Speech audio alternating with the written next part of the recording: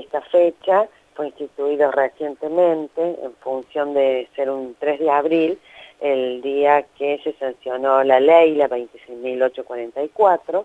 que es la que rige el marco legal, eh, digamos, que rige eh, el quehacer eh, de las empleadas en casa de familia, ¿no? Toda la modalidad de trabajo, reglamenta, eh, desde la dedicación horaria hasta los derechos y también las obligaciones que tienen las trabajadoras en casa de familia. ¿En qué situación actual se encuentran? ¿Tienen un porcentaje de aquellas personas que tienen un trabajo formal, que están en, en blanco, como se dice normalmente? Mira, al día de hoy el estado general es, digamos, desde el punto de vista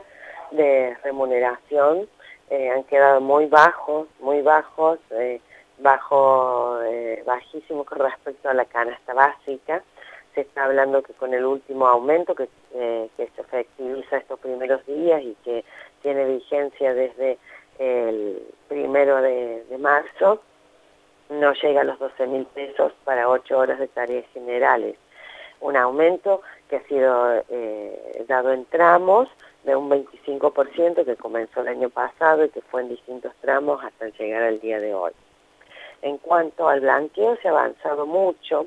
que es la registración de, de, la, em, eh, de la empleada o el empleado. Si bien se ha avanzado, queda todavía muchos, el negro, y también no tenemos datos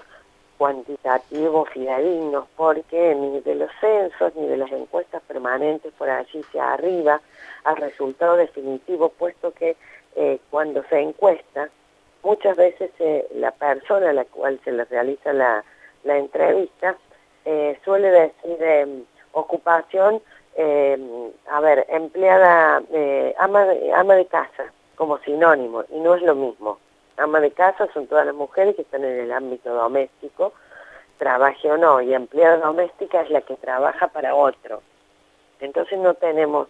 eh, datos eh, con respecto a esto. Esto habla fundamentalmente de eh, lo poco valorado, reconocido y hasta asumido como trabajo por la misma empleadora.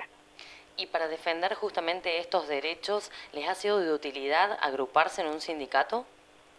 Sí, sí, en realidad esto eh, ayuda a, a, poder apropiarse de los derechos, de tener eh, conciencia de, de, que se tiene derechos como cualquier otro rubro, como otra trabajadora, y que también se tiene obligaciones acorde a esto. Esto eh, ha sido importante desde que comenzamos acá a trabajar en, en Río Cuarto y a encontrarnos y a tratar de, estar bajo de una asociación civil que nos permitiera eh, ayudar a defender los derechos, pero fundamentalmente apropiarse y saber que eh, el trabajo do, en el ámbito doméstico es un trabajo muy importante en la escala de producción. Nadie podría salir de su casa e ir a cumplir otras actividades si no tuviese alguien que trabajara, valga la redundancia, en su casa.